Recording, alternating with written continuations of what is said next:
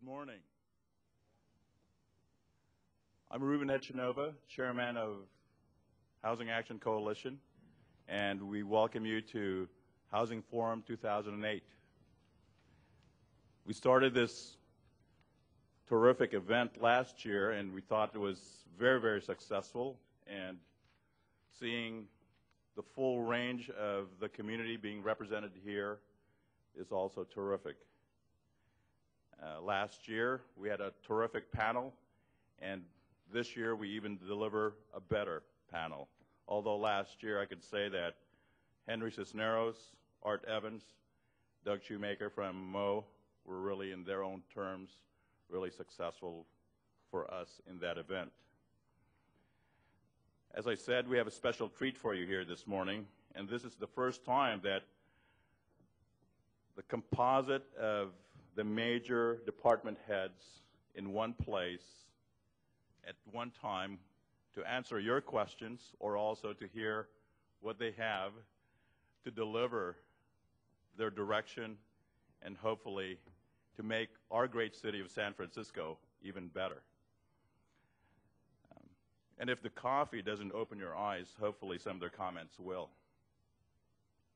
Uh, and uh, you'll, you'll be provided a sneak preview of insights of how and what they plan with their leadership will take San Francisco to the next level. Their ambition is only challenged by how much they could do in what time they've got. But nevertheless, our support for them will unknowingly be felt, and across the board, we surely will challenge them. Uh, just some housekeeping items. Uh, would love to give credit to our sponsors, and they are on your, the back of your um, programs. But I would like for those, as I mentioned, these names, if you're a representative of that organization, to at least, if not wave your hand, please stand up and be recognized. Uh, Citibank, Forest City,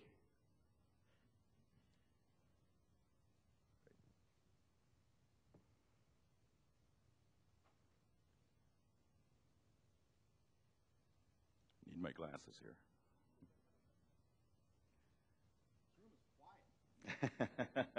the San Francisco Waterfront Partners. Thank you.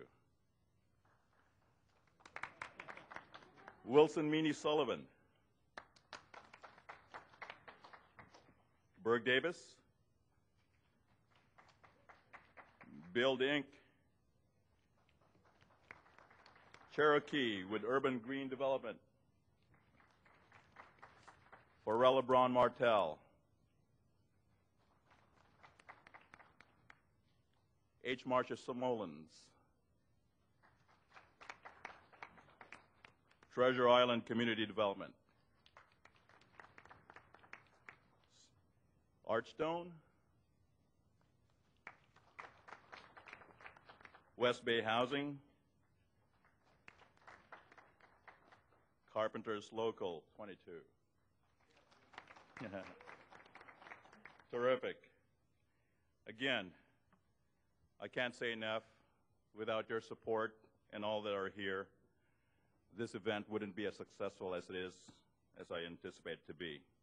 We have paper and pencils at the end of the rows, and I would love for you to put down your questions. We'll have the, uh, uh, they'll be picked up, and we will field those questions, and make sure that you make a note as to who it might be, whether it's specific or whether it could be a general question. Um,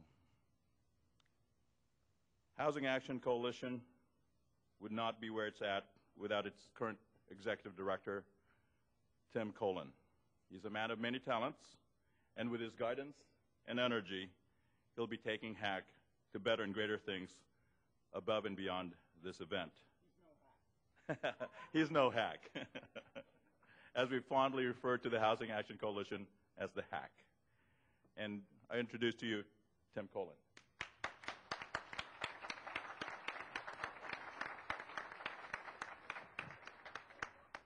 Thank you, Ruben.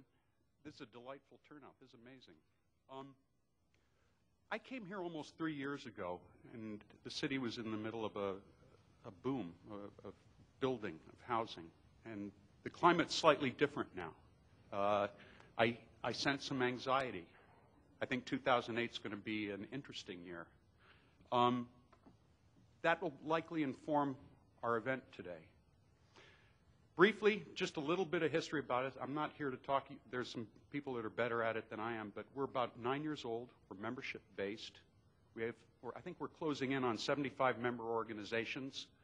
Uh, a lot of really great groups. If you look at the list of who the members are, it really speaks well to the diversity of people interested in housing.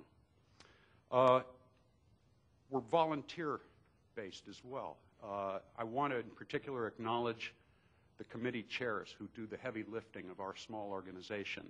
Uh, we, our work is basically in three committees. We have endorsements, project endorsements, uh, run by Stephen Aiello of Greenbelt Alliance. We have uh, our regulatory committee. Yeah. These, these are remarkable volunteers in addition to everything else they do. They do the heavy lifting of what we do. Uh, I don't see him today, but George Williams from Spur does our endorsement committee. The regulatory committee is Stephen Aiello, and the outreach committee is the estimable Trudy Loskatoff. These are the people that make our, our, our organization what it is. There are also some volunteers around. These are likely to be the housing leaders of tomorrow. Pay attention to them. When we started thinking about this event last year, uh, we realized that the planets were coming into alignment and we had new department heads. Uh, it's a rare kind of thing all at once like this. And our idea was to have a, a, panel, something like a new generation of housing leaders, uh, and to get them and get their vision and ideas of what San Francisco could be and where they'd like to go before the political process inevitably steps in and beats people down. This is a good time to talk about these things. Um, and of course, i will cop to a bait and switch. We started out with three, but you'll notice down at the end we have a, a fourth panelist, Michael Cohen, generously agreed to be here, and it, you can't get around him either. He's quite involved with it at uh, uh, economic development. I won't go into their bios. Uh, you've got the programs. It's filled up with lots of small, fine print of their remarkable accomplishments and where they've been and what they do. I urge you to look at that.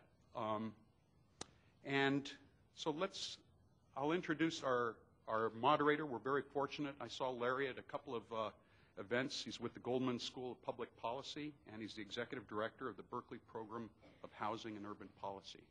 So let's get this going. My philosophy is get some bright people and get out of their way. Let's listen to what they have to say. Thank you.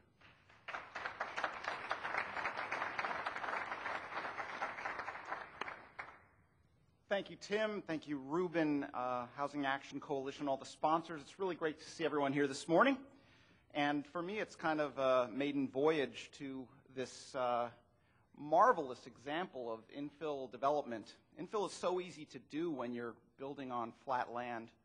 Um, I, am very proud of what the, uh, what the regions foresee for this neighborhood. I just hope it actually doesn't just come to an end right at the edge right now because it feels both very exciting and a little bit desolate. Um, but it's filled with possibility, and uh, seems like a wonderful facility for our purposes this morning. Well, um, I was really delighted to be invited uh, by uh, the Housing Action Coalition for this kind of harmonic convergence of new leadership. And I thought I would just set the stage really quickly before getting into questions. Um, my apologies to Michael Krasny. Um, a la Lloyd Bentsen, I am no Michael Krasny. Um, but I will do my best to uh, tell uh, tell the panelists uh, how they can best inform you and to ask uh, provocative questions that um, keep us on an even keel. I was thinking about affordability on the way into town, and uh, I was reminded that very often the words affordability and crisis are put together as if they were kind of married.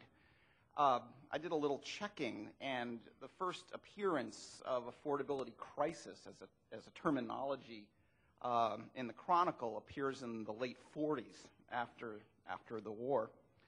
And so I think we've been in a perennial crisis, and perhaps if